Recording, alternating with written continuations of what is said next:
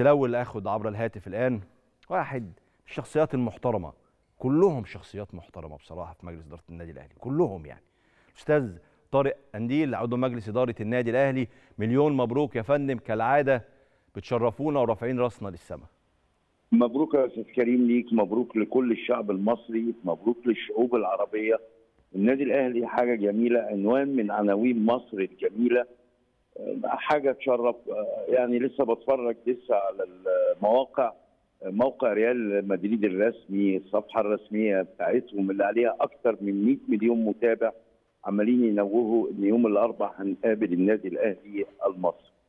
حاجة تفرح وتشرف. لا ده كل المواقع الإسبانية النهارده ماركا واس وكل المواقع كل وإحنا داخلين كده عمالين نلم كلهم بيتحدثوا عن الأهلي العظيم ولسه أكبر في القاره post من شوية برضو كاتبة لقاء ريال مدريد والاهلي المصري طيب. الاربعاء قبل ما أروح قبل ما نروح لمواجهة ريال مدريد المواجهة النهارده مش مواجهة سهلة. يمكن مواجهة أوكلاند طبعا الأهلي فرق الإمكانيات الفنية والفردية والتاريخ فرق كبير بس النهارده مواجهة سياتل ما كانتش مواجهة سهلة. عشت إزاي المباراة دي النهارده؟ وهل شكيت في لحظة إن ممكن النادي الأهلي يكسب؟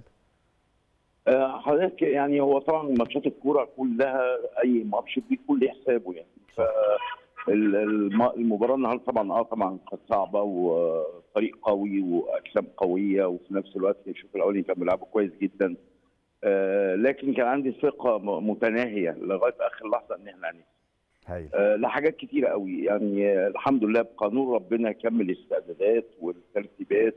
والانضباط اللي فيه البعثة و- والقيادة بتاع كابتن محمود الخطيب من قبل ما يسافروا آه، بتنبئ كلها إن آه، يتبقى بس توفيق ربنا وإن العمل الجاد ده إن شاء الله نهايته كويسة. طيب أنا قبل ما حضرتك تدخل على طول عشان إحنا لسه داخلين الحلقة كنت ناوي أشيد إشادة كبيرة بمجلس إدارة النادي الأهلي ففرصة وحضرتك معايا أشيد بإدارة النادي الأهلي اللي خدت موقف حاسم وعظيم وكبير الموسم الماضي لما ريحت عدد كبير من اللاعبين عشان تخش الموسم الجديد بانطلاقة عظيمة وانطلاقة قوية جدا في كل البطولات. فوز بالسوبر واصل لنهائي كأس مصر متصدر الدوري semi final كأس العالم للأندية. فده إنجاز يحسب بالتأكيد لإدارة النادي الأهلي يا- أستاذ طارق. الحمد لله. كان قرار صائب من كابتن محمود الخطيب كان مفوض عن مجلس الإدارة ومشرف على الكورة. م.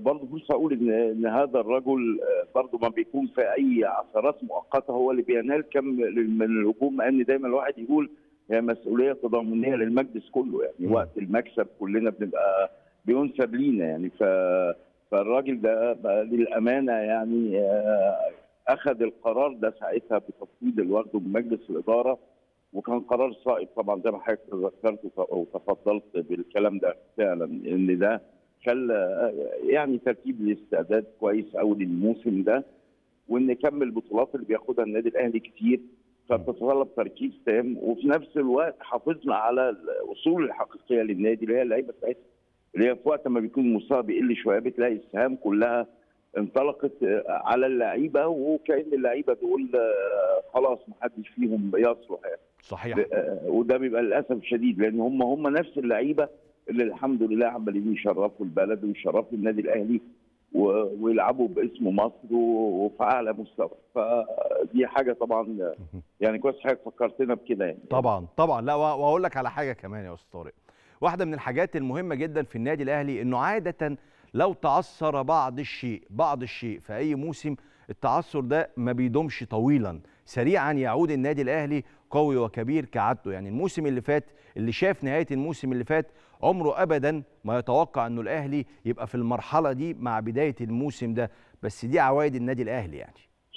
ومع ذلك ده ما كانش تعثر يعني جامد ولا حاجة لأن أنت في تاريخنا ممكن كنت بتقعد بالسنتين ثلاثة إن ممكن الفرقة يحصل لها تجديد وتطوير ويحصل داون شوية أو هبوط في المستوى أو البطولات صحيح. أنت في خلال التعثر ده كله كنت بتاخد اثنين افريقيا. واثنين برونزية كأس عالم. وسوبر أفريقي يعني ف إنما إحنا الأهلاوية. دايما عايزين نكسب كل البطولات وكل الماتشات دي إحنا كأهلاوية دي في جيناتنا يعني صح يعني طبعا طبعا طيب مواجهة ريال مدريد بقى كلنا بنحلم وعارفين فرق القوة. انت بتتكلم في فرقة عندها اتنين خدوا بالندور مودريتش وبنزيما.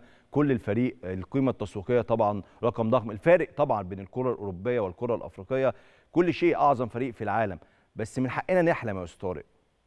طبعا في المواقف اللي زي دي لا ننكر طبعا قوة ريال مدريد وعالميته ما فيش أي حد يقدر ينكر الكلام ده. وفي نفس الوقت بنقول إن أملنا دايما إن المباراة عبارة عن 90 دقيقة. مم. وإن النادي الأهلي بتاريخه بعظمته باللعيبة ال- ال- ال- إن شاء الله يعني يكون توفيق حالكم في الماتش ده. يخلينا نحلم طبعا دون إن إحنا ننسى إن طبعا ريال مدريد بلا جدال يعني على مستوى العالم كله آه، حاجة مبهرة يعني أقوى فريق في وفي العالم نفس الوقت النادي الأهلي آه، دايما الأهلاوية عندهم روح الفانيلا الحمراء. اللي إن شاء الله يا رب تجوب أي حاجة. إن شاء الله. أستاذ طارق قنديل عضو مجلس إدارة النادي الأهلي. أنا بشكر حضرتك شكرا جزيلا وبهنيك مرة أخرى على الصعود لنصف نهائي كأس العالم للأندية.